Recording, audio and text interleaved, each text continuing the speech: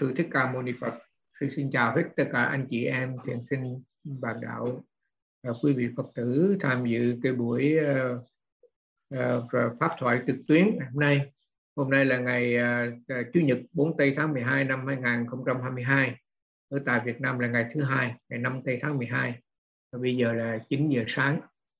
9 giờ sáng sớm mấy quý vị. Đó. mà sư muốn khoe quý vị chút là gì đây? Trước khi mà sư uh, sư lên sư giảng um, um, uh, trên zoom này đây đó. Thì uh, sư Phước Thái có nói sư là gì đây? Um, um, đợi một chút đi sư Phước Thái đi hái trái dừa cho sư ăn. Đầu lắm mới ăn được cây dừa non quý vị ra hái sau vườn á, sau bờ sông á, có cái cây dừa mọc. Rồi cái sư nói sáng hôm nay chắc có lẽ là sư sao mà thấy khó đi nhà vệ sinh quá. Cái sư nói sư ngồi yên đi con con hái sườn trái đu đủ. À, đu đủ cũng là hái trên cây xuống dừa cũng hái trên cây xuống ăn uống thì rất là tự nhiên. Thành ra đi về Việt Nam mình có dịp mình ăn lại những cái thứ ờ, mà người ta làm rất là tự nhiên. Lấy ví dụ như um, uh, um, sữa đậu nành đó quý vị. Sữa đậu nành ở tại ở đây là vùng nhà quê người ta không có hóa, hóa chất gì hết trơn ta làm sữa đậu nành nó vắt sữa. Người ta làm khoảng chừng một cái người mà bán họ làm chừng vài ba lít à. rồi để đó họ bán bán chung với bánh ngọt bánh đồ gì đó thì mình qua mua sữa đậu nành về uống rất là, là rất là sung sướng. Thôi bây giờ ra phải lo chuyện pháp cho còn mình nói chuyện ăn hoài nó cũng kỳ quá. À. chúng ta bắt đầu bằng một cái câu chuyện ở trong pháp của kinh đó. Ngài đại đức a nan đó ngài ngồi ngài suy nghĩ ngài nói rằng đó, tất cả những cái loại hoa đó hương hoa cái nào mà có mùi thơm đó, trầm chẳng hạn. Thì thường thường nó bay theo mùi gió à. Gió đi phía nào nó bay theo tới đó. Ngài tự hỏi không biết là gì đây có cái có cái hương gì mà nó bay ngược gió không? Chắc có lẽ khi mà ngài A Nan mà đặt câu hỏi như vậy chắc có lẽ quý vị cũng mơ mường tượng đặt được, được cái cái câu trả lời của đức của của mà, mà ừ, có cái vấn đề này là như thế nào. Rồi thì ngài A Nan đó lúc bây giờ ngài không có kiếm ra được cái câu trả lời. Có cái có cái hương gì mà bay ngược gió không? Và hỏi Phật phải gặp Phật Đức Phật nó có có một loại hương bay ngược gió đó là cái hương của giới. Đức Phật nói rằng là đó, ờ, cái hương của giới nó bay ngược gió thì à, Ờ, đức Phật mới nói rằng là đây um, cái lời của Đức Phật dạy là nói rằng là này A Nan nơi thôn quê nơi thành thị có một nữ nhân hay nam nhân quy y Phật pháp tăng. Quý vị thấy đây là nói về người cư sĩ thôi chứ không phải nói người xuất gia nữa. Và tránh xa sắc sanh tránh xa trộm cắp tránh xa tà dâm tránh xa nói dối tránh xa uống rượu ờ, và người có giới đức là người có thiện pháp. Tâm vị ấy đã dứt bỏ sự bỏng sẻn sự ô nhiễm. Tức là người đó, đó giữ gìn giới luật trong sạch rồi mà còn cố gắng tu tập để dứt bỏ cái lòng bỏng sẻn của mình. Sẵn sàng gọi là bố thí cho cho ra. Tuy còn tại gia mà có tâm dứt bỏ xả thí thỏa thích trong sự bố thí không nhơ bận biết thông cảm tới người sinh hoan hỷ chia sức vật khí với tất cả mọi người. Thì từ nơi thôn quê hay nơi thành thị đó cho đến các phương hướng chư sa môn, bà la môn hằng ta tụng rằng, nơi chốn thôn quê thành thị nọ, nữ nhân ấy hoặc nam nhân là người quy y Phật, quy y pháp, quy tăng, hoan hỷ chia sức vật khí đến tất cả mọi người. Chư thiên nhân loại cũng hằng ca tụng. Và gì đây ờ, này a nan, đó là giống có hương, mà hương của nó bay bay xuôi chiều gió, bay ngược chiều gió, bay xuôi lẫn bay ngược chiều gió. Người mà có giới đức trong sạch giới định huệ ba cái luôn. Cái nào cũng cũng cũng, cũng tốt cái trơn ấy. trong, trong có cái chữ là giới hương định hương huệ hương đó. Thì cái này là đó, ờ, cái người mà có giữ gìn giới đức trong sạch là người mà sống có mà đạo đức ở đâu người ta cũng nghe ờ, nghe tiếng được cái trơn cái tiếng tốt của mình. Sư lấy ví dụ một đây một cái trường hợp là sư sư đi về Việt Nam chẳng hạn. Thì khi sư ờ, sư thái dẫn sư lên trên cái xã đó để mình mình mình báo cáo cho cảnh sát trên đó công an trên đó họ biết là mình có mặt ở đây đó. Thì gọi là khai tạm trú tạm vắng Việt Nam cái gì đó. Thì à, cái ông cái ông mà công an đó ông nói chuyện ông nói là như thế này là thưa sư à, đúng ra đó sư bạn của sư không có quyền ở ở trong nhà của sư đâu. Là bởi vì luật nói rằng là chỉ có những người nào mà thân bằng quyến thuộc với nhau mới được về ở đây còn sư là người nước ngoài. Thì nếu mà sư về ở đây thì sư chỉ ở khách sạn thôi nhưng mà địa phương thấy là sư là cái người đàng hoàng tử tế tức là nói về sư quốc thái chứ không phải sư không biết sư. Đó, với là mỗi năm sư về đây sư đều có làm một cái tờ giấy cam kết là sư nói sư về đây sư ở có tính cách là nghỉ dưỡng mà thôi cho sư không có sinh hoạt phật sự là gì nhiều. Thì nếu mà được như vậy thì chúng tôi sẵn sàng à, cho sư được cái tạm trú tạm vắng ở đây. Mặc dù sư với sư Phúc Thái không phải là cái người thân bằng quyến thuộc. Đó thì à, cái lý do mà để cho người ta mà dễ dàng với sư bất Thái và để cho sư ở là tại vì tụi này đó qua cái sự mà đóng góp của Phật tử đó, làm rất nhiều vấn đề thực thiện công an nó cũng đi hỏi nó biết biết là sư Phúc Thái ở đây không có kiếm chuyện gì trên người đáng nghĩa là mặc dù người tu nhưng mà luôn luôn ở trong vườn của ông ông không có đi ra ngoài ông có phá phách không có nhậu nhẹt không có cờ bạc đó rồi thế mà bà, bà con phật tử bên mỹ mà gửi tiền về cả cá nhân gia đình của sư gửi về sư Phật thái đem cho người ta. Thì quý vị thấy cái lòng bố thí cái sự giúp đỡ của mình với những người xung quanh đó, nó tạo ra một cái ấn tượng rất là tốt. Tại bất bây giờ, bây giờ mình đi đâu người ta cũng biết cái trơn là người ta rất là gì đây dễ dàng cho mình. Do cái sự mà cái mừng là cái lòng trong sạch của mình cái giới đức của mình cái sự mà cái mừng tử tế của mình đối với những người xung quanh hàng xóm đó thì Đức Phật nói ừ, nhắc lại cho mình biết rằng là không phải chỉ có người tu không thôi mà ngay cả người tại gia cư sĩ giữ gìn giới luật trong sạch thì cái giới đó, đó cái hương của cái giới nó đi ngược bay chiều gió đi đi đi xuôi cũng có đi ngược cũng có mà vừa đi xuôi vừa đi ngược cũng có. Đó thì là đó là những cái điều mà về đây um, chúng ta nên nhớ trong cái cái cái bài ờ, pháp ngày hôm nay. Một cái uh, câu chuyện khác nữa uh, là bây giờ tới phiên của một người xuất gia đây là một vị trưởng lão rất là nổi tiếng ở trong ờ, đệ tử của Phật ngài Mahakajip Mahakasapa. Ngài này là cái người là giới đức rất là trong sạch. Ờ, ờ, sau khi mà Đức Phật mà, mà, mà nhập diệt rồi đó thì trước khi mà nhập diệt thì ngài Đức Phật có nó hỏi chư tăng đó, trong trường hợp mà nếu như một các sư thấy là giới luật có gì đây nó còn có những cái điểm điều gì mà nhỏ nhỏ nhoi mà làm cho cái đời sống của chư tăng nó bị trở ngại đó thì cho phép các sư gì đây nói lên. Và sẵn đây thì gọi là gia giảm cho quý vị khỏi phải giữ những cái giới đó. Thì uh, những cái người mà mà mà vậy đây các vị mà trưởng lão mà lúc đó bây giờ có mặt nói rằng là đức thế tôn ngài nói làm sao thì tụi con giữ nguyên như vậy cho không có thay đổi gì hết trơn và trong cái kết tập tam đàn đầu tiên thì các quý vị như là ngài hòa thượng ngài diếp là như thế này ngài tuyên bố rằng là thế mà đức phật đã đặt ra cái giới thì giới nhỏ giới lớn rồi thì ai giữ được thì giữ thôi chứ không có sửa đổi. Thành ra vì vậy gọi là cái tập tam tạng là vậy đó đặt lại hết tất cả những gì mà đức phật dạy đức phật ngăn cấm chư tăng đó, rồi yêu cầu chư tăng phải giữ gìn theo. Thì bây giờ để nói về trở lại về ngài đại đức ờ, ca diếp ngài chuyên môn ngài là ngài là người thọ độ đà nữa. Ngài luôn luôn là nguyện cái hạnh là đi bác để mà nhận cái đồ mà ờ, cúng dường cho cho người ta phật phật tử người ta cúng dường như thế nào thì ngài ăn như vậy ăn gì đây? Nhận trong bát và về nhà ăn. Thì có một lần đó ngài à, nhập đại định. Vì một dạng mà thiền định mà là cái người mà muốn nhập đại định đó là người đó phải có cả hai à, vừa là một vị ít nhất là đắc đạo quả tu đạo hồn à, um, um, um, anaham chứ. Thì là bên bên bên bên thiền quán á, à, thiền tứ niệm xứ. Rồi người ấy cũng phải đắc cái tứ thiền ở bên thiền định nữa. Thì hợp cả hai cái này thì các ngài đi vô một cái đại định.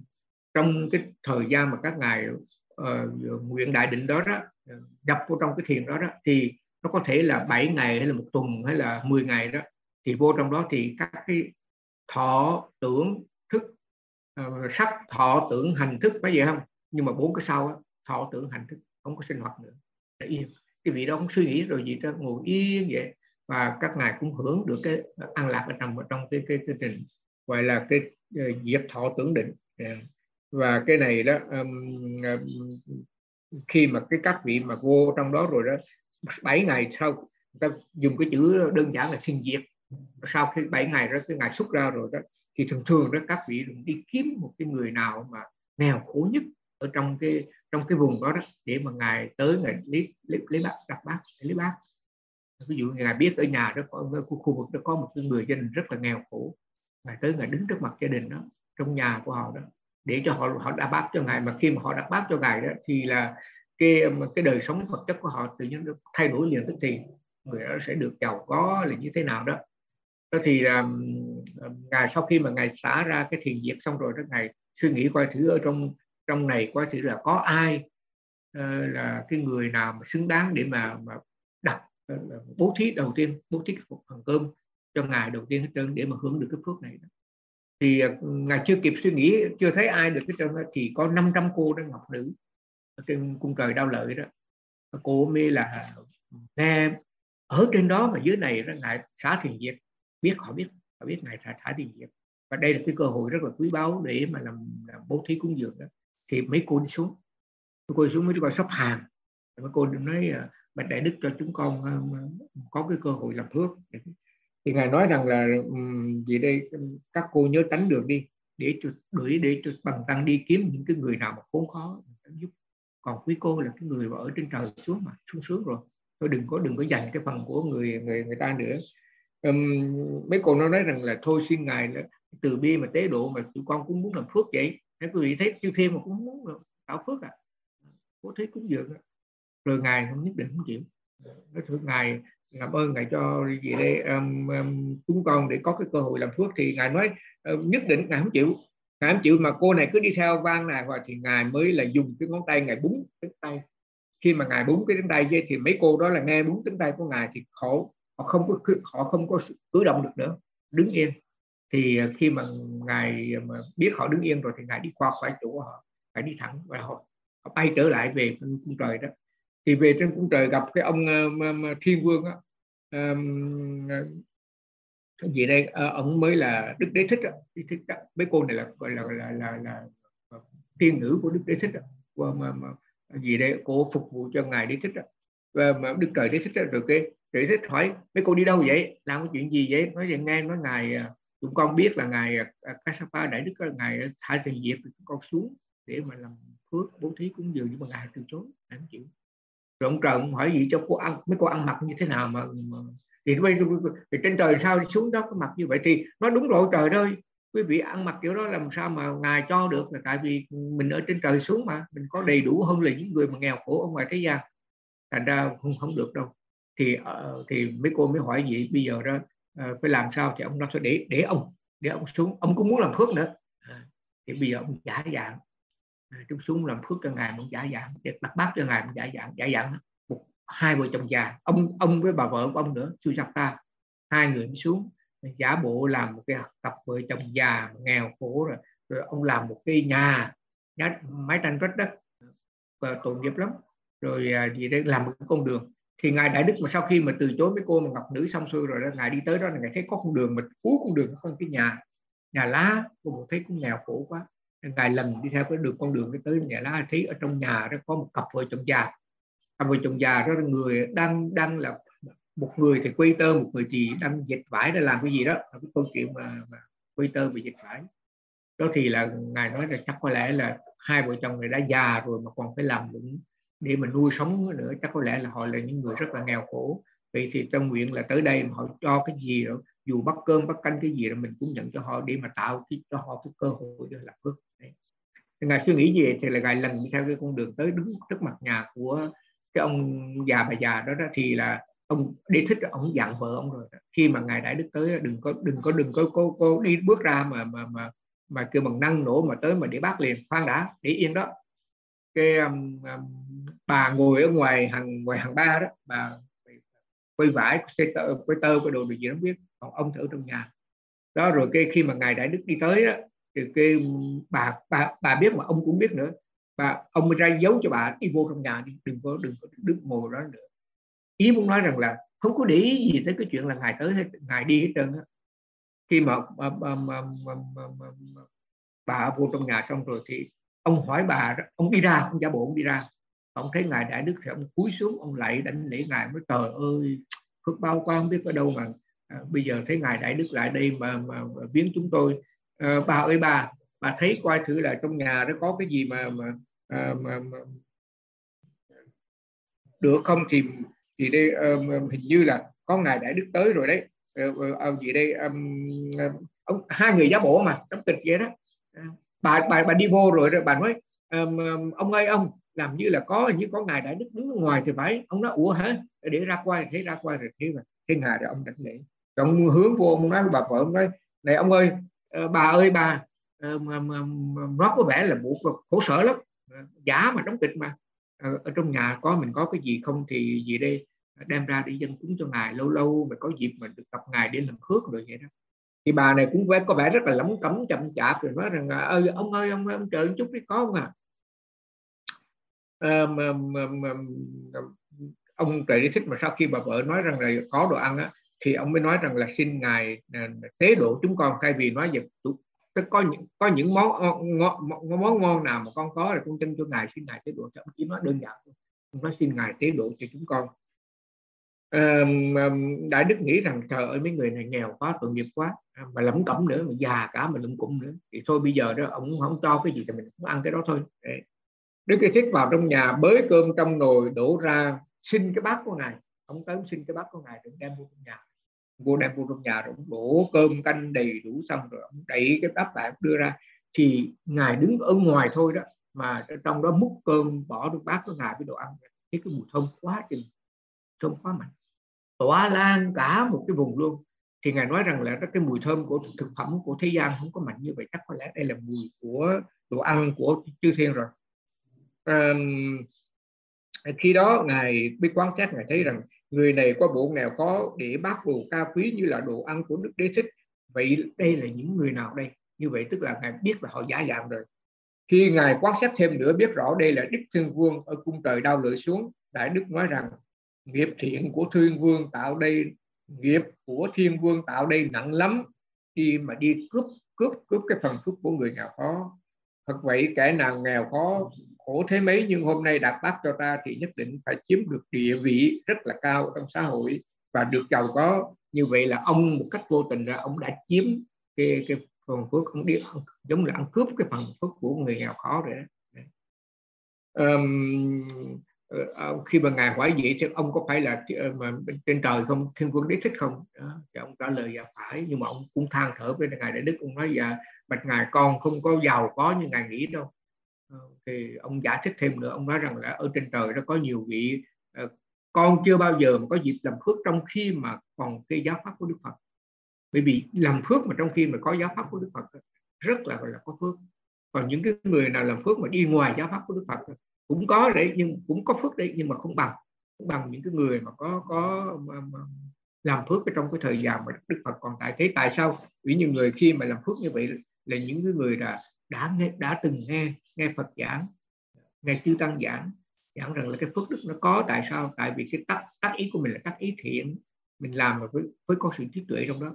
Thành ra cái phước nó rất là thù thắng phước tốt vậy lắm. Thì ông này ông nói rằng là ờ, thưa ngài tôi là ông trời trên đế thích nhưng mà tôi không bao giờ tôi làm phước trong cái lúc mà đức phật có, có một cơ hội làm phước lúc mà đức phật còn tại lúc mà trong cái giáo pháp của đức phật còn. Quý, quý vị nhớ là giáo pháp của đức phật còn chứ không phải là nói rằng là đức phật còn có mặt tại đó hai cái hai cái nó hoàn toàn khác nhau hết. Giáo pháp của đức phật còn nghĩa là sao? Ví dụ bây giờ đó, giáo pháp của phật còn này. Bây giờ mình làm phước vẫn có phước rất là tốt này. Còn lúc mà đức phật còn tại thế thì cách đây có mấy ngàn năm rồi, đức phật qua đời rồi, đức phật ờ, nhập diệt rồi, không còn nữa. Nhưng mà giáo pháp của ngài còn. Thì những người nào mà làm phước và trong cái khi mà thời kỳ mà giáo pháp mà còn á, thì những người đó phước và thắng thì ông này ông nói rằng, ở trên trời có nhiều vị trời đó, họ làm phước họ cũng là những vị trời mà họ làm phước vào cái lúc mà mà giáo pháp của Phật còn đó thành ra ô hậu quang họ rất là sáng. So với so với với, với con là không ăn nhầm nhò gì hết trơn á họ sáng rực à. khi nào họ đi tới là mình phải lo mình đi trốn chỗ khác à. Bởi vì là cái cái hào quang họ lớn quá đẹp quá. Um, vì đây cái um, ông mới là ông mới thưa lại với ngài đại đức ông hỏi là ngài hòa thượng hỏi là bạch ngài ngài nói con là ăn cắp cái phần phước của người nghèo vậy thì bây giờ con làm, con cũng mong phước vậy, chứ đâu con có phải là con không mong phước đâu.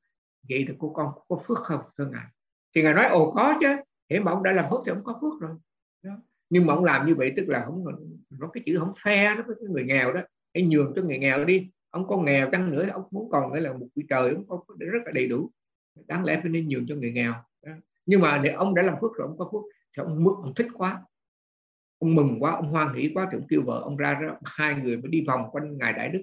Một dạng là kêu bằng là để tỏ lòng tôn kính để chắp tay đi xung quanh ngài. Xong bay lên trên trời. Ông la lên ông nói rằng hôm nay ông được được làm thuốc cho ngài đức. Cái sự bố thí này là nó tạo một cái ba la mật rất là lớn lao. Ông hoan hỷ quá ông la lên nói vậy. Thì đức phật uh, ngồi ở tại trong chùa đó đức phật nghe cái tiếng la đó đức phật dùng thần thông đức phật biết. Đấy là cái gì đây? Um, cái đây là tiếng la cũng phải đế thích. Mà ông la tại vì sao? Là tại vì uh, ông uh, có dịp ông làm phước. Làm phước cho cho trong một cái vị mà nghĩa là giới đức rất là trong sạch. Mà gì đây uh, tu hành rất là đạt hoàn tử tế. Đức phật mới đứng trong chùa đó nghe tiếng kêu của thiên vương mới reo lên như vậy thì ngài mới kêu các vị tỳ khu ngài nói rằng là à, này các này các thầy tỳ khu hãy coi đế thích hoàng nhân tức là ông biết thành người đó reo lên như vậy Ờ, mà, mà ông ta cao hứng ngâm nga rồi bay lên như vậy thưa thưa ngài các vị sư mới hỏi giờ bạch đức thế tôn tại sao mà ông ngâm nga cao hứng như vậy? Là tại vì ông gạt được Kassapa tức là con con của của ta đó, để bác cúng dường. Rồi vì cái sự để bác cúng dường được thành tựu rồi ông thỏa thích quá rồi bay lên rồi ông la ông ca ông ngâm như vậy ông cao hứng ngâm nga như vậy. À, và bạch đức thế tôn tại làm sao mà gì đây ông biết là để bác cúng dường cho đại đức hợp thời như vậy này các vị tỳ khưu tỳ khưu thọ pháp đầu đà hằng đi khất thực như con trai của ta tức là ngài đại đức ca diếp thì chư thiên hay nhân loại gì đều cũng thương mến cả. Cái, cái tiếng tâm của ngài nó vang dội không những ở trong cái cõi người rồi mà cõi trời nó cũng vậy nữa. Ai cũng biết cái trơn và ai cũng thương mến ai cũng là kính trọng đức độ. Um, và nói rồi thì ngài cũng nói rằng là đó cái người vị tỳ khưu nào đó mà giữ cái hạnh trì bình rồi uh, xin ăn vừa đủ cho mình Ờ, thì ừ, cái người ấy sẽ được là cái cái tiếng tâm của người ấy cái đức độ đức độ của người ấy được, được vang lên vang lên là chư thiên và nhân loại. Không phải là nhân loại không thôi mà chư thiên ở khắp nơi nó cũng thương mến nữa. À, và cái cái vị đây là những cái người mà cái tâm nó luôn luôn nó được an tịnh mà cái trí nó rất là, là sáng suốt. Thì à, Đức Phật nói như vậy để mà cho thấy rằng là đó ở đây thôi câu chuyện thì xảy ra ở dưới trần gian là một cái vị mà tu hành như vậy. Và ở trên tuốt ở trên cực cung trời đau lợi người ta cũng còn biết nữa đó là lý do tại sao mà Đức Phật xác nhận lại cái câu mà ngài trả lời cho ngài Đại Đức A Nan là hoa hương hoa những cái hoa quý á, cái luôn luôn nó bay theo gió nó thơm cái lắm nhưng bay theo gió trầm cũng vậy. Nó rất là thơm mình luôn luôn bay theo gió. Chỉ có là cái hương mà mà mà gì đây mà bay ngược gió rồi bay xuôi gió rồi bay luôn có ngược gió xuôi gió nữa đây là hương của giới đức tuyệt vời. Xông lên không những ở tại cái cõi thế gian của của người này thôi mà nó còn lên trên các tầng trời, người ta cũng hiểu, người ta cũng cảm mến nữa, người ta cũng kính trọng nữa. Thành ra quý vị biết đôi khi có nhiều người trong tích viện thì nhớ có một ông đó, ông làm phước ở dưới này thôi à mà trên trên trời của ông đã có nhà sẵn cho ông rồi.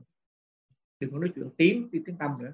Ông làm phước như này, ông bố thí lập một cái chùa được biết trên đó. Ngài ngài đại đức một liên lên trên đi đi thăm các quá trời ngài thấy một cái một cái nhà và cái nhà này qua nhà nó của ông cái ông mà dưới này đó ông xây cái chùa ông cúng làm cái chùa đó. Phải sao mà ông còn ở với nó tôi tôi đứng đây chờ ông mà cái nào ông chết là ông lên, lên đây ở đây nhà của ông. Thì thì mình thấy rằng là cái phước mà mình làm trong cái thời kỳ mà Đức Phật mà còn tại Đức Phật mà cái giáo pháp mà Đức Phật còn á, thì cái phước nó rất là thù thắng nó có và nó cái tiếng thơm nó bay đi khắp nơi cả chư thiên. Không những nhân loại rồi mà chư thiên cũng cũng biết nữa đó là cái ý nghĩa của cái bài pháp ngày hôm nay. Cái cái câu pháp cú kinh nói rằng là đó ờ, cái hương hương của các loài hoa hương của trầm ấy, thì thường thường bay theo ngược chiều gió bay theo chiều gió mà còn hương của giới đức thì bay theo ngược gió. À, đó là chấm dứt cái phần mà nói về uh, cái câu tinh pháp cú bây giờ gì đây? Uh, có một cái bài pháp uh, nói về vấn đề uh, cô này cô trình pháp cô nói là cô cô là cái người rất là thích thích ai mà nói ngọt ngào đây là một cái dạng mà mình thấy thế gian người ta rất thích mình nói cái gì mình nhờ cái gì, mình nói ngọt ngào rồi vậy là người ta thích lắm. Nhưng mà đứng về phương diện Phật pháp rồi cái đó chưa chắc đã đúng đâu. Thì bây giờ đây mình nghe cô này của Tịnh pháp này. cô này cư sĩ thôi quý vị. Cô nói như thế này dạ thưa sư, cái tính con là ưa ngọt lắm. Để ai mà nhờ cái gì con mà nói cho vui vẻ, ngọt ngào thì con làm à sẵn sàng. Ừ, khó bao nhiêu con cố gắng con làm hết trơn với điều kiện là phải nói cho nhẹ nhàng không học nào với con mới được. Còn mình nói mà sẵn sẵn với con ha thì cái người đó là dù là, là cha con mẹ con hay là anh con chị con rồi vậy đó thì con gì đấy con cũng có làm con cũng con cũng mặc kệ đó con không làm. Họ nói sẵn quá mà họ dùng những cái lời lẽ mà không có vui vẻ mà không có uh, cái bằng mê à, mà, mà, mà, mà dùng những lời giống ngọt ngào để mà mình mà nhờ cô thì cô nói cô cũng cũng làm cha cô mẹ cô hay là ờ, chị em trong nhà đi nhờ cô cô không làm đâu. Thì um, cô hỏi thiền sư vậy chắc cái cái cái, cái thái độ như vậy có đúng không? Có chân chánh hay không? À, trả lời thái độ như thế là thái độ không chân chánh chút nào. Người ta nói ngọt lúc nhờ gì mình làm ngay cái đó là tâm tham. Ngược lại người ta nói sẵn mình không làm cái đó là tâm sân. Cả hai đều không đúng. Vậy đúng là sao? Dạ thưa sư, đúng là sao? Con cũng không biết nữa, nhưng mà nếu như hỏi con thì con sẽ cố gắng con trả lời. Con nói rằng, đó là, không không trả lời, hỏi lại. Người ta khen mình mình mới làm, thì cái đây là tâm tham. Nếu người ta nói sẵn với mình, khổ sân mình không chịu làm, mình bực bội mình không chịu làm, cái đó là tâm sân. Vậy thì bây giờ mà đúng thì phải sao đây? Thì cô này cô nói rằng mà sư mà hỏi con thì con cố gắng con trả lời và con sẽ xem. Nếu trong cái khả năng của mình thì con sẽ làm giúp người ta. Cái con không, có gì đây uh, lý tới cái chuyện là người ta nói như thế nào nói sẵn hay là nói ngọt nào.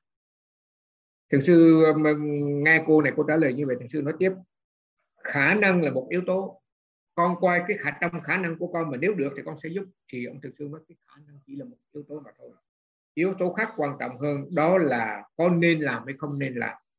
Chuyện nên làm thì ai có nói sẵn mình cũng giúp người ta như thường. Ngược lại chuyện không nên dù có nói ngọt như mía lau, mình cũng phải tránh. Đó là làm với trí tuệ, không tham và không sân nếu mà người ta nhờ mình một chuyện mà mình thấy cái chuyện đó đáng làm, thì mình nên làm. Sẽ lấy ví dụ chẳng hạn như ở đây, trong cái xóm này đó ờ, ờ, cây bụi rồi đi rồi nó nó mọc ra, nó toán cái đường đi, cái đường cái đường mà để mà xe cộ chạy nó nhỏ lắm. Người ta làm một cái đường ờ, trước là một cái đường đất bây giờ người ta đổ xi măng thì nó có nhưng mà nó vừa phải thôi. Một chiếc xe đi là thấy chặt rồi. Thôi nhưng mà rồi đó, một cây ờ, các bụi cây hai bên nó mọc ra, nó che, nó hút hút cái đường đi à. Thì bây giờ đó phải cần ai mà đứng ra mà cắt, tỉa mấy cái cây đó để mà tạo nên cái space nó rộng rãi để cho xe cộ nó chạy rồi vậy đó. Ví dụ chẳng hạn như có mấy cái xe mà du lịch rồi chạy lên chạy xuống rồi nó có va quẹt rồi trong đó đó. Nhưng mà không không ai muốn làm hết trơn. Thì ở đây sư thái thấy cái chuyện là chuyện nên làm, người ta nhờ người ta làm đó, nhờ không cũng nhờ ai trơn mà nhờ mấy cái người mà tới làm cho sư thái để bỏ ra một tiếng đồng hồ để làm. Đó thì ví dụ những cái chuyện nào mà mình thấy là có sự lợi ích ừ, có sự lợi lạc cho cộng đồng thì bây giờ người ta có có nói ngọt ngào không ngọt ngào mình vẫn làm như thường nên người là người có trí tuệ. Hoặc giả là mình thấy bây giờ đó um, rất là nhiều người đó ở đây đó họ khó khăn vô cùng ờ, họ sống không nổi tại vì ờ, covid vấn đề mà làm ăn nó rất là khó khăn như vậy đó đó thì dù họ có tử tế mình không tử tế mà nếu mình cảm thấy cái chuyện cần mình xả mình đồ đó họ họ nói mình họ đề nghị với mình họ nói rằng cái gia đình đó rất, ừ, rất là ờ, là cực khổ rồi vậy đó thì sư giúp dùm thì mặc dù là mình không có họ, họ không có vui vẻ gì với mình hết trơn họ có thể là họ gặp mình họ không chào nhưng mà mình thấy cái, cái chuyện đúng xã nó đề nghị vậy thì mình cũng nên tìm cơ hội để mình giúp đỡ. Đó thì gọi là người giúp mà có trí tuệ trong này biết là cái chuyện cái chuyện cần làm chuyện nên làm mình có khả năng là mà đồng thời cái chuyện cái chuyện cần làm, chuyện nên làm thì làm ờ, vì lợi ích của cái cá nhân đó hoặc trả vì lợi ích của một cái tập thể nào đó. Khả năng là một yếu tố yếu tố khác quan trọng hơn, đó là cái việc nên làm hay không nên làm. Chuyện nên làm thì có ai có nói sẵn mình cũng giúp người ta như thường. Ngược lại, chuyện mà không nên, dù họ có nói ngọt nào, họ nói như thế nào đó, mình cũng phải tránh. Đó là làm với trí tuệ không tham không sân. Trước khi làm, mình đắn đo, cân nhắc nên hay không nên. Làm với uh, phiền não sai làm với phiền não tức là sai làm với tâm tham là sai làm với tâm sân là sai. Ngược lại làm với trí tuệ biết rằng cái chuyện này á là cái chuyện đáng làm chuyện nên làm vì cái lợi lạc của nhiều người thì dù có, có ai không nói hoặc giả là họ nói sẵn cái đồ gì mà mình thấy mình có khả năng cứ nên làm. Tức là thì ông nói cái này là mình làm với trí tuệ và ở trong cái cuộc sống của mình đó mình thấy rằng đã ờ, đôi khi có những cái chuyện ờ, thật ra là mình mình dễ bị ờ, cái cái vấn đề mà nó ngọt và nói nó sẵn á. Hay nói sẵn thì dù có lợi bao nhiêu nữa mình cũng không làm. À, mà còn mà nói họ nói ngọt ngào đôi khi có chuyện không đúng mình cũng làm nữa. À, đó là trường hợp ví dụ như cha mẹ đó à, con trai con gái nó về nó nói cái gì nó ngọt ngào hay là nó nói nó, nó than thở được vậy là cho là nhưng có những cái chuyện mà làm rồi thì mình suy nghĩ là cái chuyện nó không nên phải khuyên nó đừng làm à, thì là vì thương con vì thương con vì cưng con. Đó rồi cái bị phiền não nó sai sử cho đó mà cha mẹ kêu bằng là cùng với con mà làm. Ờ, cách kêu bằng là kêu bằng là để yên cho con của mình để làm những cái chuyện không hay không đôi khi còn giúp đỡ nó nữa.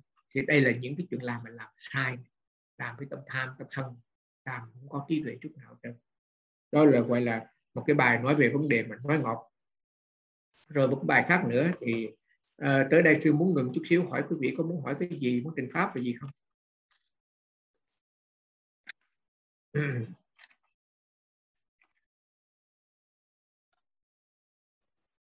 Con muốn uh, trình pháp được không sư? Nói đi. Ở trong cái khuôn viên nhà con nó có cây quýt đó tự nhiên cái mùa này quýt nó rụng nó, nó không giữ được. Cái lần đầu tiên con thấy nó rụng cái con mừng rỡ quá chạy lại lượm. Thích quá chạy lượm lượm. Rồi lần thứ nhì cũng vậy, lần thứ ba cũng vậy, lượm này nhỏ nhỏ nhỏ, lượm về, cái tự nhiên cái tới một lần đó con nó ủa, sao lúc mình mình lượm mình thấy cái tâm thích thú mà mình không có để ý vậy? Thấy thích quá mà, tại sao không để ý? Cái tự nhiên con chánh niệm trở lại, cái mấy lần sau đi ngang, cái con thấy cái cảnh của con nó bước nhanh nhanh nhanh nhanh nhanh, còn cái đầu con nó quay bên kia, nó quay bên chỗ xe hơi á đi ra xe hơi đi cho lẹ không có dồn tới cái đó. Cái con nhớ lại như vậy là mình có thái độ không chân chánh rồi tại sao mình quay cái đầu mình đi cẳng lẹ vậy? Thì nó rụng thì kệ nó chứ mắc mớ gì mà tự nhiên bỏ chạy né tránh. Con tự con con, con tự con thấy vậy đó thấy kỳ quá tự nhiên đi lẹ lẹ lẹ lẹ lẹ ra xe hơi rồi cái đầu né qua bên kia không nhìn. À, những cái trái quýt nó vàng rượm ở dưới dưới dưới dưới dưới, à, dưới gốc á rồi cái con con nó không được. Như vậy là mình không có tu tập gì hết á. Mình bỏ chạy né tránh là đâu có tu tập gì đâu. Bỏ chạy né tránh mà không muốn dòm tới trái quýt mà. Ừ. thì mấy lần sau con nhìn nó con thay đổi thái độ con thay đổi cái nhìn con nhìn nó tại vì thật sự bên trong có một chuyện sự thật rất là phủ phàng là nó chua. Ha, thành ra mình á giờ mình có lượm mình gì cũng không ăn được chua nhưng mà tại sao mình phải né tránh bỏ chạy? Cái cái cẳng đi lẹ lẹ rồi cái đầu lắc qua bên kia bỏ chạy. À, thành ra mấy lần sau thì con thấy cái tâm con nó bình thường trở lại thì mình biết được cái sự thật rồi. Thành ra buông dễ dàng mình không có dính mắt vô nữa. Như lúc đầu á, mừng lắm. Cô cô cô có để ý là tại vì nó chua vậy đó mà cô mới mới buông buông cách dễ dàng không? Đúng rồi phải con nghĩ vậy, vậy sư. Tại cái động cơ chánh thức là chua à, đó thấy không? Thành ra thật ra lòng tham cũng còn nữa nếu mà nó ngọt thì chưa chắc mình đã đã đã, đã dạ, bỏ đúng. chạy vậy đâu. Dạ, dạ đúng rồi dạ đúng rồi. được. Mình dòm như vậy để mình thấy cái tâm của mình thấy không? Nó nói một điều nhưng mà thật ra trong cái sâu thẳm hoàn toàn nó khác à. Dạ, đúng quá rồi. Dạ à. nó lừa nó nó lừa mình nữa sư con thấy nó lừa cả nó bỏ nó bỏ nó đi nó chạy lại muốn nó tránh tránh né thấy không? Là không tốt rồi đó nhưng mà bây giờ mình đặt cái câu hỏi trong trường hợp mà nó ngọt chắc mình cũng tránh đâu. Mình cũng lượm mình để đó. Ô, thôi kệ, nó lượm vô, mình để đó, mình ăn, có người khác ăn được, đúng cái chuyện. Cho nên hồi sáng như sẽ khoe hồi sáng này sẽ ăn sẽ uống được mấy nước dừa đó. Thì là mình biết là đây là cái nước dừa này, nó ngon này, nó ngọt này, nó ngọt cách tự nhiên này, nó ở trên cây xuống. Chờ ơi, uống xong rồi nó cây thấy cũng vậy thôi, chứ có cái gì đâu. Nhưng mà thì cũng đúng là mình thấy là cái, rất là hiếm hoi để mà được như vậy. Nhưng mà để lần sau quay thử. Cái tâm của sư nó quay thử là nó còn vướng vướng bận như đó thôi nhưng mà sư nghĩ thì, thì có thì uống không có thôi à. Tại vì đi về đây cũng có nhiều đồ ăn quá. Cho nên mà khi mà nó thiếu thì chắc là chưa chắc là là, là, là, là mình không vướng à. Có gì không? Yeah. Dạ. nó rất là tốt. Nhớ nhớ nhìn cho kỹ ha. Khi nó nói cái gì đừng có tin nó để coi thử ha. mày bữa nào bữa nào ngọt coi thử mày có đi mày có đi mày có chạy mày có tránh cái gì không? Chưa chắc đâu ha. Dạ đúng rồi sư dạ đúng rồi rồi thế bây giờ đây à, không biết có cái gì nào muốn hỏi cái gì nữa không? À. À, đây một bài pháp mà nói về vấn đề giúp người. Thưa sư con có tánh thích giúp người giúp người khác khi họ cần. Nhưng con cũng sợ mất lòng người ta cho nên con phải làm cái chuyện mà mình không thích để họ đừng buồn. Con thấy khổ quá mà không biết làm sao. Quan đọc lại cái câu này nói là con có tính thích giúp người khác khi họ cần nhưng cũng sợ mất lòng người ta cho nên phải làm những chuyện giúp là đúng rồi đó nè. Nhưng mà có cái chuyện thứ hai nữa là đôi khi phải làm những cái chuyện mà sợ người ta mất. Người ta nhờ mình mà mình không làm sợ người ta mất lòng. Do đó mà con còn làm. Con làm thì con thấy khổ quá nhưng mà con không biết làm sao đây. Cái chuyện mà họ cần á mình giúp á, thì vui vẻ thì được rồi đó. Cái đó là chuyện đó là ok. Nhưng mà cái vế thứ hai thì cô này nói rằng con lại thích để đừng để cho người ta làm đừng có để cho người ta buồn. Đừng có làm người ta bực bội thành ra con thấy con làm những cái chuyện mà để cho họ đừng có bực bội thì con phải ráng con làm nhưng mà tâm con không ưa chắc có lẽ như vậy thì con rất là khổ. Thì sư trả lời khi làm gì giúp ai mà mình thấy khổ thì thôi ngưng không có giúp nữa tại vì sao? Bởi vì ông thầy này thực sư thường nói rằng là cái thiện nghiệp á, nó phải đem lại lợi ích cho cả hai phía cho mình và cho người. Sư lấy một ví dụ đây mình à, thấy à, người nghèo chẳng hạn. Ví dụ sư về đây sư thấy người nghèo đó, họ rất là nghèo họ rất, làm ăn rất là khó hai vợ chồng làm tất bật suốt ngày mà vừa đủ miếng ăn đôi khi con cái nó đau cũng có tiền mua thuốc ví dụ nói như vậy. Đó. thì bây giờ đó mình mình mình mình có bổn phận là mình thấy đây mình nhà cái nhóm của mình nó có cái quỹ. Thì cũng không nhiều thôi vài ba ngàn. Nhưng mà đối với vài ba ngàn nó cũng rất là to đối với bên này thì mình thôi thì mình cho họ chút đỉnh tiền để họ đi mua thuốc để cho con cho con cái có họ uống. Để mà qua cái cơn như vậy là tại vì họ nghèo quá mà làm sao? Đó nhưng mà rồi đó ờ, không phải là một gia đình đâu khi mà họ thấy như vậy họ, họ ùa tới học sinh. Có những cái mà họ xin mà mình thấy không đúng. À, xin họ làm chuyện khác à. Ví dụ như sư kể có cái chuyện cái bà kia đó bà bà hư chiếc xe đạp. Xe đạp thì đâu có ờ, ờ, không đi xe đạp thì đi bộ cũng được. Tại vì bà nói rằng bà có chiếc xe đạp đạp qua chợ mua mua cái cây mua rau mua đồ gì đó mua cá mua thịt gì đó đạp đi về.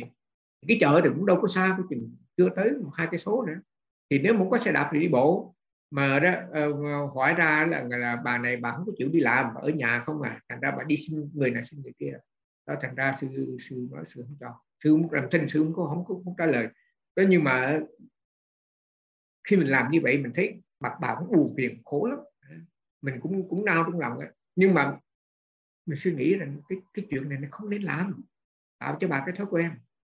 Ờ, bà cũng còn khỏe mà mà còn trẻ mà bà còn nhỏ tuổi sư bà có thể đi làm làm cái gì đó ở xung quanh trong làng đó và sống cũng tiểu học trẻ là con cái của bà nó gửi về. Đó thành ra mình thấy rằng là đó, um, không phải là vì người ta vui lòng mà mình làm mà cái sự làm việc mình làm phước nó phải vui cho cả hai bên. Mình làm họ được lợi lạc rồi mà mình cũng được vui vẻ nữa. Còn mình làm có một bên thôi là mình sợ là họ buồn phiền họ khổ rồi mình làm thì cái đó quý vị nhớ không có phước nào hay thường hóa như vậy thiện nghiệp kusala phải đem lại lợi ích cho chính người này cho người cho và cho tha nhân tức là cái người mà mình hướng về đó. Khi chỉ có lợi một bên thôi riêng mình hay chỉ lợi cho người khác thì không còn thiện. Như vậy là thiện pháp là làm mà cái người cho cũng người cho hay là người biếu hay là cái người mà làm làm làm, làm cái chuyện tốt cho một cái người kia một cái một cái một cái người thứ ba đó thì cái người người thứ cái người đó cái người đó được hưởng họ sung sướng rồi đó. Ví dụ mình đem mình giúp đỡ uh, những cái người mà nghèo ở trong làng đó mình cho họ tiền thì mình giúp đỡ họ rất là dữ. Họ có có tiền họ mua thuốc mua men để họ chữa bệnh rồi cho con cái của họ họ rất là sung sướng phải không? Nhưng mà đồng thời đó mình làm mà mới phải nhớ là trong cái khả năng của mình còn ví dụ chẳng hạn nhóm chỉ có một số tiền nhỏ nhỏ mà bây giờ đó mình nghe người ta nói mình thích cái tội tội tôi quá rồi mình bỏ tiền bỏ bạc ra rồi mình bây giờ mình thiếu mình về mình phải chạy đầu này đầu kia mình bữa mình trả lại. Chuyện đó là chuyện không nên tức là lợi cho họ mà không lợi cho mình. Vì vậy thiện nghiệp là phải đem lại lợi ích cho các mình và cho tha nhân. Khi chỉ có lợi một bên thôi, riêng mình thôi hoặc cho cho người khác không thôi, thì trường hợp đó không còn chuyện nữa. Khi có khả năng giúp ai một điều gì, mình nên làm hết lòng. Nhưng người khác không thể mong đợi mình làm tất cả những gì họ muốn. Nếu vì thế mà họ buồn, họ giận, thì thôi thì để yên. Đó là chuyện của người ta thôi. Bây giờ mình nói lại này. Khi bạn có một cái khả năng giúp ai làm một điều gì, thì mình nên nhớ phải làm hết lòng có khả năng mà làm hết lòng. Ví dụ chẳng hạn như sư về đây, sư có thể nói với quý vị là sư ờ, không có thì giờ. À, hoặc giả là sư về đây, sư thích đi lang thang, đi chơi rồi vậy, thay vì mình lên zoom để thuyết pháp cho quý vị. Nhưng mà mình nghĩ mình có khả năng, có thể làm được. Và bà con cũng hoan hỷ vui vẻ, mặc dù là ờ, cái giờ giấc nó hơi thay đổi một chút. Đó, nhưng mà bà con cũng thì mình cũng nên làm. Cái đó là cái khả năng của mình mà. Vì vậy khi mà mình ở khi mà mình có khả năng giúp ai một điều gì, mình cố gắng mình làm hết lòng cái sự hết lòng của mình đó để giúp người ta đó cũng rất là tạo ra tạo ra. Nhưng mà mình cũng không thể rằng nhưng người nhưng nhưng người người khác mình giúp nó họ không thể mong đợi được. Lấy ví dụ chẳng hạn như uh, sư về đây thì thấy có thời gian sư rảnh được mấy tuần đó giúp quý vị. Nhưng mà rồi sau đó sư bận khi mà sư bận rồi thì kệ nó phật tử có buồn để mình cũng chịu thôi bởi vì mình bận quá mình không có thì giờ. Vì vậy mình nhớ mình làm trong khả năng của mình mình làm trong cái điều kiện mà mình có mình làm và mình thấy cảm thấy lợi lạc vui vẻ cho mình mà lợi lạc cho người khác nữa thì cái này mới gọi là thiện nghiệp à, ờ, có một câu người ta thường nói rằng bạn phải biết lúc nào thì nói được yes và lúc nào thì trả lời không cho không phải là cứ là cái làm cũng yes hết trơn. Hay làm vừa lòng tất cả mọi người là điều mà không thể làm được. Mình mình chỉ, chỉ giúp được một số mà điều mà thôi là bởi vì cái khả năng của mình nó giới hạn. Ví dụ chẳng hạn như bây giờ đâu nguyên cả cái làng mà ví dụ như bị Ờ, rồi có thiên tai cái gì rất là nhiều người phải bán nhà bán cửa rất là cực khổ như vậy rồi mà kêu mình giúp mình giúp đâu có nổi. Quá nhiều quá lớn đi. Nó, nó đi qua nó qua khỏi cái khả năng của mình. Rồi mình có giúp chăng nữa rồi mình phải ờ, cố gắng mình làm để rồi mình không vui. Vì vậy nhớ làm trong khả năng của mình. Làm mà mình thấy cảm thấy vui vẻ cảm thấy hoan hỷ mà cái người được mình giúp là họ cũng sung sướng nữa. Làm vừa lòng tất cả mọi người đó là điều không thể làm được làm làm người ta vui vẻ hoài không được đâu phải là không phải là cứ phải bắt buộc phải làm cho tất cả mọi người Thưa sư con thấy mình tu một lát làm như mình à, gì đấy lạnh lùng hờ hững có phải không? Bởi vì có những cái trường hợp mình người ta thường thường là ta cảm xúc lắm, ta buồn, ta vui, ta hỉ nộ ái ố trong này mà mình làm như mình hờ hững, mình hững hờ lắm, mình lạnh lùng lắm. À, thì là gì đây ông, ông thực sự trả lời dùng cái chữ hững hờ lạnh lùng đúng không? Mà dùng cái chữ là tại vì đó là kết quả của một cái tâm nó quân bình à, không vui mà không lo nhiều mà cho ai làm tâm chấn động dễ bị cảm xúc tràn tràn ngập. Khi một cái người mà có tâm quân bình đó, thì người này đó sẽ giúp trong cái khả năng của mình. Và cho dù mà bây giờ đó mình ngoài khả năng của mình rồi mà họ có kêu la khóc lóc họ có làm cái gì chăng nữa làm không được phải phải làm thinh mình phải tránh ra mình không muốn giúp. Là bởi vì quá khả năng của mình rồi ví dụ như bây giờ trong một hai người ở trong làng đó, mình có thể giúp được nhưng mà nguyên cả làng nó bị thiên tai thì phải nhờ tới cái, những cái chính phủ nhà nước hay là các cơ quan mà À, phái đoàn mà còn đây mà, mà các hội mà từ thiện rồi tới giúp cho còn mình làm nó có nổi đâu. Đó. thì mình nhớ mình làm ở trong cái khả năng của mình và uh, cái người mà, mà mà tu tập một thời gian mà có cái tâm quân bình đó thì người đó không lo quá nhiều cho ai mà ngay cả bà con thân bằng của mình cũng vậy.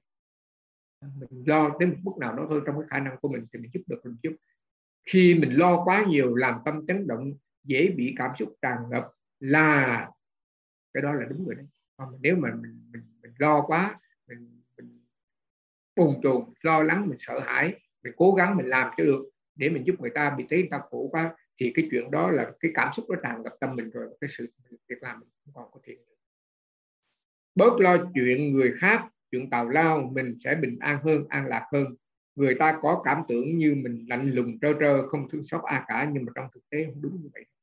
Thế là mình cảm thấy là mình không lo nổi thì mình không lo mà thôi. Phật giả là mình không cần phải lo gì hết trơn á. Tới tới đó nếu có phương tiện thì làm, không có phương tiện không sao cả. Tại vì không đủ mà phải lo chi? Ờ, ông nói rằng, hãy bớt lo cái chuyện người khác, chuyện tào lao. Mình sẽ bình an hơn, mình an lạc hơn.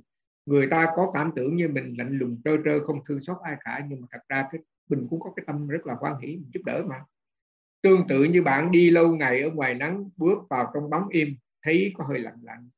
Thông thường mình lo lắng quá nhiều đến người khác lo buồn xúc động một cách vô lý và đây đây là toàn là bất thiện pháp không?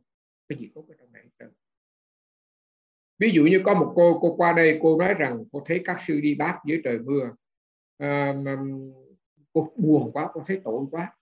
Sáng sớm là 6 giờ vừa mới dùng điểm tâm xong là các sư mới mặc y vô mà đi bước ra cái là thấy trời mưa ở bên miếng điện cái, cái, cái mùa nhập hạ nó mưa nó mưa thành lần à. Nó đi ra đi ra thì không mưa mà đi về đi đi một lát nó mưa. Mưa là ướt áo ướt y ướt áo ướt bát ướt đồ thì cô cô thấy chưa tăng đi về mà mưa ướt lạnh lùng nó cô buồn phiền lắm cô khổ lắm. Thành ra cô cô ưa khóc cô nhìn chưa tăng đi về mà ướt như khóc. Cô tới cô trình pháp thầy thầy nói đôi trời cái chuyện đó mà khóc cái gì? Cái đó là bổn phận của chư tăng mà. Thì đi mà về mà mưa ướt thì thì, thì giặt y rồi phơi thôi có sao đâu có gì đâu có gì vấn đề. Đa phần các sư là thường là các sư nhỏ không ạ. Thế còn các sư mà lớn tuổi mà có thể dễ bị bệnh rồi dễ thì cái nhà chùa cho phép ở nhà không có sao cả. Đi thì nhắm mà trời mưa thì các vị mà lớn tuổi mà có thể bình hoạn cho phép ở nhà. Cái việc ở nhà học giả các vị nào mà bận rộn chưa phật sự cho phép ở nhà. À, rồi chỉ có những người nào trẻ ở nào ở tuồng làm gì và và gì đây ờ, nghĩ rằng là mình có thể chịu đựng được mưa gió thì cứ việc đi không sao cả các ngài cũng không không, không, không, không có thúc buộc rằng tất cả các sư đều phải đi hết trơn. Thì uh, cái cô này đó khi mà cô nghe được giải thích như vậy thì cô cảm thấy cô yên ổn. Và ông thầy Phùng dương nói là một lần mà cô ra mà cô đứng mà cô thấy các sư mà đi về mà mưa ướt mà nhóp nháp như vậy cô nhớ cô quay tâm của cô. Đừng để cho cái cảm xúc nó dâng trào. Đây thật ra là cái chuyện gì không có đáng buồn gì trơn á. Tại vì cái đó là cái bổn phận của các sư mà. Ờ, với lại về đây lâu lâu mới mưa lần chứ đâu phải ngày nào cũng mưa hết trơn đâu bây giờ tâm cô này quân bình hơn, lo chuyện đáng lo, cho nên cảm nghe lạnh lùng, thiếu tình thương. Ờ, đối với những người chung quanh phải không? Đó, thì bây giờ hồi trước là cô thấy các sư là cô xúc động cô khóc rồi vậy đó. Thì người người ngoài chỉ nói ô, cô này tội nghiệp không? Thấy các sư thì cô khóc lắm rồi vậy. Nhưng mà cái chuyện đó đứng về phương diện ông trần thương quá là cái đó là tào lao, không nên không nên suy nghĩ như vậy. Thì bây giờ ra cô biết rồi cô hiểu rồi. Bây giờ tâm cô quân bình. Thì ừ, trở lại người ta nói rằng là cô là, chỉ là người hứng hờ, không có xúc động lạnh lùng, thiếu tình thương nhiều người nghĩ rằng lo và thương cho người khác là có tâm từ tâm bi. Trong thực tế, khi trí tuệ chưa đủ, thì từ có thể trở thành tâm nhân ái dính mắc và đi bi trở thành lụy. Ông thầy sư nói rằng là khi mình lo như vậy, mình nghĩ rằng là mình có tâm từ tâm bi đối với người khác. Nhưng mà nếu như mà mình tu mà không có trí tuệ đó, thì cái tâm từ tâm bi là tâm từ nó biến thành tâm biến ái. Có nhiều từ quá, có cái nhiều cái tâm từ quá thì nó trở thành biến ái, bởi mình có được trí tuệ, nó nhắc nhở mình rồi cái tâm đi nó thành đi lũy tức là mình, mình, mình giúp người ta rồi mình thấy người ta khổ quá mình giúp hoài mà không được rồi mình cũng trở thành mình mình cũng khổ theo người ta luôn. Đó tâm đó là tâm đi lũy. vì cả hai trường hợp uh, tâm từ nó trở thành tâm luyến ái đó là cái điều phải tránh. Tâm đi nó trở thành cái sự lũy đi lũy thì cái đó là một cái điều không không không không tốt không tốt. À, bây giờ gì đây à, cuối cùng để đọc cái bài quý vị thêm một cái bài ngắn ngắn nữa và chúng ta sẽ chấm dứt cái buổi cái thời phát thoại ngày hôm nay ha. À, có một cái cô của cô về bên qua qua bên Myanmar đó. À, cô cô này cũng có người trong người cũng tính thoát bị bệnh cô cũng không được khỏe gì lắm. Cô đi qua bên Myanmar để ăn uống thực phẩm nó tương đối nó hơi hơi khó khăn á. Thì cô hay bị bệnh lắm. Thì cô nói rằng có một hôm cô đang ngủ tự nhiên cô sợ là nếu mà lỡ mà chết bên Myanmar rồi thì làm sao mà đem xác về Việt Nam? Đây cô này là cô người ở ngoài Đà Nẵng á. Cô nói rằng nếu mà mình đau như thế này rồi lỡ mà mình chết ở bên Miến Điện á, rồi làm sao mà đưa về Việt Nam đây? Trời ơi mà chở cái xác về Việt Nam mà rất là khổ. Về tới uh, Sài Gòn thành phố Hồ Chí Minh rồi là còn phải đưa ra Đà Nẵng rồi nữa rất là nhiều khê rồi không biết là như thế nào. Lỡ chết ở Myanmar thì làm sao đem xác về Việt Nam? Đôi khi tâm con yếu đuối không tín niệm tâm suy nghĩ chuyện gì thấy sự việc xảy ra y như thật. Và con cũng không biết làm sao để mà, mà tránh cái chuyện này. Cô nói cô tự nhiên cô tưởng cô đang ngủ thì tự nhiên cô tưởng cô nói rằng là ôi trời lỡ mà mình chết ở đây thì người ta phải đem xác về Việt Nam nó rất là cực. Từ từ à, Sài Gòn từ thành phố Hồ Chí Minh mà đưa ra Đà Nẵng nữa. Ôi nhiều khê quá. Và rồi cô nói tại vì cái tâm mình yếu cái tâm mình không có chánh niệm do đó những cái chuyện đây là chuyện tưởng tượng mà mà nó trở thành giống như thật. Sợ sợ thật. Thầy sư trả lời trả lời đừng có lo cho cái thân này. Nếu lúc đang ngủ mà hành giả chết với cái tâm hướng về Việt Nam thì cô sẽ tái sanh về bên đó đó. Mà dưới dạng người hay súc sanh ngạ quỷ vân vân. Nói là nếu cái tâm của mình nó hướng đi đâu á, thì mình chết. Mình chết ở đây nhưng mà mình sẽ về đó đó. Không phải chơi đâu. Cũng giống như quý vị nghe cái câu chuyện của một cái bà đó là bà là vợ của một cái ông uh, tiên nữ ở trên trên trời cung trời đâu uh, trên cung trời á cung trời không biết cung trời nào quên là cung trời đau lợi là cái gì đó. Cung trời đau lợi thì phải đó, bà là một cái cô tiên nữ. Cô đi hái hoa để cô phục vụ cho một cái ông một cái vị mà mà, mà, mà tiên nam. Đó rồi đang hái hoa cái cô rớt xuống cô chết. Vậy đó mà cô cứ là suy nghĩ hoài là làm sao mà làm phước làm sao? Khi mà chết rồi tái sanh lại làm người nó phải làm phước làm sao để mà cuối cùng trở về mà đoàn tụ với ông trời trên đó? Nó thì chết về đó thì thì là ông thiền sư ông dặn á, nếu mà quý vị mà muốn đi về Việt Nam, quý vị chết. Mà quý vị muốn đi về Việt Nam mà quý vị cứ suy nghĩ về Việt Nam mà quý vị sẽ tái sanh Việt Nam. Tái sanh cái gì thì chưa biết. Có thể làm người, có thể làm súc sanh, có thể làm ngạ quỷ, mà chắc chắn cái cái nơi, cái tới cái destination mà quý vị sẽ tái sanh là có thể là là Việt Nam chắc chắn rồi đấy. Khi tâm đang nhớ về chú sức cũ của mình, đất nước mình, thì chết phải tái sanh về đó chứ không thể chỗ nào khác đừng lo cho xác ở đây người ta sẽ thiêu đốt rất là sạch sẽ. Về Việt Nam có xác mới trẻ hơn mạnh hơn cũng chừng đẹp hơn nữa biết đâu. Ừ, ông dặn cô đó vậy. Cô đừng có lo gì trơn. Ở bị chết đây thì chết. Cái tâm cô mà hướng về Việt Nam cô sẽ tái sinh về Việt Nam đấy. Mà cái xác này thì để mà chết đây thì người ta lo mà. Nó có xác có, có, có ai để mà nó, nó thúi đâu. Ở trong trường thiền mà hễ mà, mà chết một cái là người ta vài ba ngày là người ta đem tới lò thiêu người ta thiêu thì cái xác này, đừng có lo cho cái xác này. Cái xác này sẽ có người ở đây người ta lo, người ta thiêu đốt rất là sạch sẽ. Về Việt Nam, mình tái sinh trở lại, có thể là nếu mình đặt một cái người đàn bà nữa, thì mình sẽ trẻ hơn. Rồi mình có một cái thân xác nó mới hơn, mạnh hơn, có lẽ cũng đẹp hơn nữa, biết đâu. Lo lắng gì? Chính vì lòng tham muốn sinh tử, sinh trở lại xứ mình mà danh sắc này mới sanh ra. Chúng sanh mới có thể là nam, có thể là nữ, có thể là súc sanh ở trong nhà tùy theo cái thức tái sanh lúc cần chết. Đó, ông thầy sư nói rằng là dựa theo mà cái luật tái sanh của đức phật đó, thì vì mình muốn trở lại cái thế gian này do đó mình tái sanh.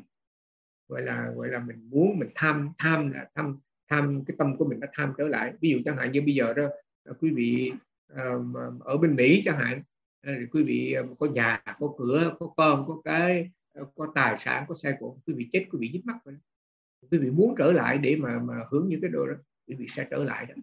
Nhưng mà nếu mà chưa biết là quý vị trở lại như dưới hình thức nào không được rõ nhưng mà sẽ chắc chắn sẽ trở lại. Sẵn đây sư cũng nghe một vị thiền sư ngài nói rằng là đó ờ, mà quý vị là người Việt Nam hay là quý vị là người Myanmar quý vị là người Trung Quốc quý vị đi qua bên Mỹ là quý vị nói là quý vị là cái người ngoại quốc mà thật ra không chúng ta không phải là người ngoại quốc đâu. Chúng ta đã ở xứ này nhiều lần rồi đấy vì chúng ta phải trở lại. Đây đúng, đúng, đúng là cái chỗ của mình đã ở từ trước rồi không có còn mà nếu mà quý vị mà tái sanh Việt Nam thì đó Việt Nam là cái chỗ mà quý vị đi tới đi lui rất là nhiều lần. Mặc dù quý vị ở sinh ra Việt Nam vậy mà quý vị qua bên Mỹ ra. Như vậy là không phải là đây là cái cái cái cái, cái, cái gọi là cái um, um, mà, mà, um, người nước ngoài đâu. Quý vị của nước ngoài quý vị đã sinh ra vô đây rồi bây giờ là nhân duyên nghiệp được đưa quý vị trở lại vì vậy Ờ, ngài thiền sư Lotika ngài nói rằng khi mà mình hiểu được như vậy rằng là mình đã sinh ra khắp nơi và mình đã làm con dân của cái xứ đó rồi đó thì cái tâm của mình mà đối xử cái mình là kỳ thị nó bớt đi. Ví dụ chẳng hạn bây giờ mình mình nói rằng là mình mình kỳ thị người người người người da đen chẳng hạn. Lấy ví dụ thôi nghe quý vị mình kỳ thị người da đen thì mình phải nhớ rằng trong một cái kiếp nào đó, đó mình cũng đã là người da đen. Rồi mình cũng sống như người da đen mình cũng sinh hoạt như người da đen rồi mình cũng là ông bà cha mẹ tổ tiên của mình cho nên mà vì một lý do nào đó bây giờ mình trở thành người da vàng là mình trở thành người da trắng thì nhớ rằng họ cũng là anh em của mình họ cũng là bà con thân thích của mình. Đừng có kỳ thị với người ta. Và lại người ta mình chưa chắc đã hơn gì người ta đâu mà mình mình, mình nói rằng là mình như vậy như cái cái đó. Họ có những cái phong tục tập quán họ có cái cách thức của họ. Mình có cái cách thức của mình rồi mình nói rằng cái cách thức của mình phải tốt là văn minh là hay thì giỏi rồi vậy đó. Còn có họ là xấu thì vì cái sự suy nghĩ một cách mà sai lầm như vậy làm cho mình tạo ra cái sự chia rẽ rồi mình kỳ thị người này người kia. Đó là cái điều không có tốt chút nào. Vô phật à, quý vị có hỏi cái gì không quý vị? À, nhắc nhở quý vị rằng được cái buổi mà mình nghe pháp hôm nay là cái buổi pháp cuối cùng ha. À, ngày thứ bảy tây bảy tây bên bên bên, bên Việt Nam này. Tức là sáu tây là sẽ đi lên đi vô trong chùa Phước Sơn đó, trong Đồng Nai đó Sài Gòn đó thành phố Hồ Chí Minh đó. Và thì sư vô ra sư dạy có thiền và trong khi mà sư dạy đó thì có lẽ là sẽ nhờ người ta thu băng rồi gửi về cho quý vị nghe. Và chắc chắn một cái điều mà sư sẽ gặp quý vị mà trực tuyến à, trực tiếp mà, mà mà nói chuyện với quý vị trở lại lần nữa thì chắc có lẽ phải đợi tới tháng giêng. Lúc bây giờ sư về Cali đó thì anh Eric anh sẽ là thu mấy cái cuộn nhưng mấy cái buổi mà sư pháp thoại ở tại à, à mà, mà, trung tâm mê từ đó đó thì anh sẽ là thu và anh à, gửi à, live cho quý vị nghe và nếu một quý vị có cái gì mà hỏi nữa thì thôi bây giờ mình cũng uh, hồi hướng công đức đi ha. Dạ con con con có cái góp ý hồi xưa đó sư người ta cứ dạy mình là kêu là mọi da đỏ sư. Bây giờ con nhớ lại kêu cái chữ mọi thật là mình kỳ thị kêu bằng kinh khủng quái gở á. Hồi đó kêu là mọi da đỏ không à. À vì người ta cho người da đỏ là cái người mà ngoại rợ đó thì cũng giống yeah. như dạ. người Việt Nam mình vậy đó. Người Việt Nam mình kêu mấy người người sắc tộc á thấy không cái người mà ví dụ người người màng người, người mướn à, người người gì hè người mường người má rồi đấy người người núi trên núi bọn là bọn mỏi mà. Mọi sư nhớ và xíu xưa đó mọi mà cà răng căng tay. Cái mọi là chuyên môn nó cà cái răng mà nó căng cái lỗ tai lên này. Cái bọn đó là bọn ngoại rợ mà. Đó, đó là cái cái cái cái cái, cái ý mà cái mọi kỳ thị có cái sinh vật của họ có mình có sinh vật của mình. Nhưng mà nhớ như thế này là nhớ nha mình mình đừng có nghĩ là mình không kỳ thị đâu khi mình nhìn họ như vậy mình tưởng là họ kỳ thị mà thật ra mình cũng kỳ thị ghê lắm. Đó quý vị để ý cho quay. Quý vị tự quay lấy cho sư cũng có nói mà cái này là lời dạy của ngài Yotika đó. Ngài nói rằng là nếu mà bạn nói rằng là bạn bạn biết rằng là bạn là cái người đã từng sanh vô trong cái, cái xứ đó đã từng làm con dân của xứ đó đã học từ cái văn hóa của xứ đó bạn sẽ là mở rộng cái vòng tay ra và bạn sanh ờ, mà tứ hải gia huynh đệ. Người chắc tâm mình tâm phiền não mà nó cũng cũng có cái kỳ thị trong đó chứ phải không nhưng mà mình cứ nhắc nhở mình nói Hả? Dạ, con cảm ơn sư. Dạ. Mời quý vị đọc bài hồi hướng công đức.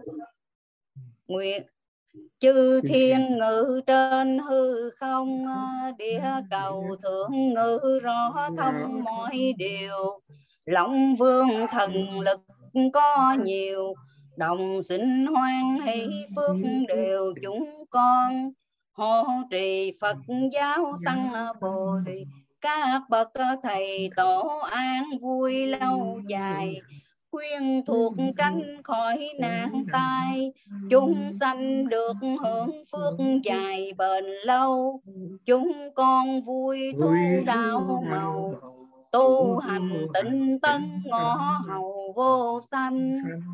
Do sự phước bao mà chúng con đã trong sạch làm đây. Hay là mối duyên lành để giúp khỏi những điều ô nhiễm. ngủ nằm nơi tâm trong ngày vị lai. xa thú xa thú lành thai. Con cảm ơn sư con chào sư cô Phật à, xin sư cũng chào quý vị ha. À, nếu mà quý vị nào bên Mỹ thì cầu chúc cho quý vị happy holiday. Sắp sửa là có Christmas New Year lâm tà la. Có quà nhiều nhớ để cho sư với nghe. Đừng có đừng có ăn mình á. Rồi quý vị nào mà ở Việt Nam thì sư cầu mong mong gặp lại quý vị ở tại thiền viện Phước Sơn ha. Rồi mình có việc à, lâu lâu mình gặp nhau. Và sẽ là tới giờ đó rồi sư cũng sẽ rất mừng nếu gặp quý vị ở tại thiền viện Phước Sơn. Chào hết quý vị nghe. À, Phật.